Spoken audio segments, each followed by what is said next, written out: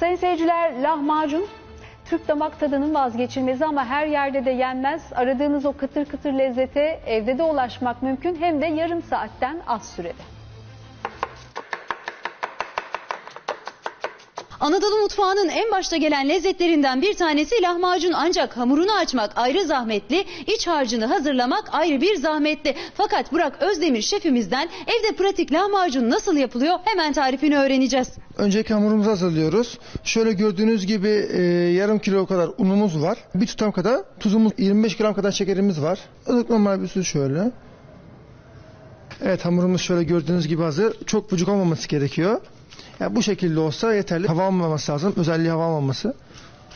Hamurumuzu hazırladık ve streç filmle sardık 15 dakika boyunca dinlenecek ve ardından hamuru tekrar açacağız. Şimdi sıra geldi iç malzemelerini hazırlamaya. Şimdi malzemelerimiz e, biber salçamız var. Böyle bir tutam. Bir tutam domates salçamız var. Karabiberimiz var. E, toz biberimiz var. E, yarım kilo kadar kıymamız var. Domatesimiz, soğanımız, e, bir de biber ve kapbiberimiz var. Maydanoz da tabii olmazsa olmazımız lahmacun için. İnce ince kıyılan malzemeler bir kabın içerisine alınarak baharatlarla harmanlanıyor.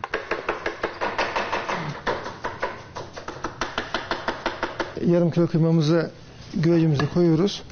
Şöyle harcımızı da üstüne. Bu şekilde yorabilirler. Domates salçamızı koyuyoruz.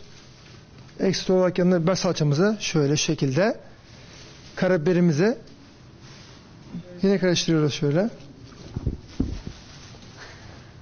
Hamurumuz 15 dakika dinlendi. Şimdi açacağız. Bakalım kıvamında olmuş mu? Ufak ufak parçalara ayırıyoruz şöyle.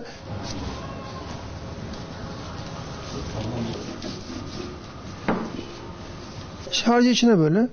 Şu şekilde biraz bol malzemeli oldu bu. Lahmacunumuz hazır. Ee, 220 derecelik fırınımızda yaklaşık 6-7 dakika pişecek bu lahmacun. Bakalım güzel olacak mı? Evde yapılan lahmacun hem daha leziz oluyor hem de tanesi 2,5 liraya geliyor.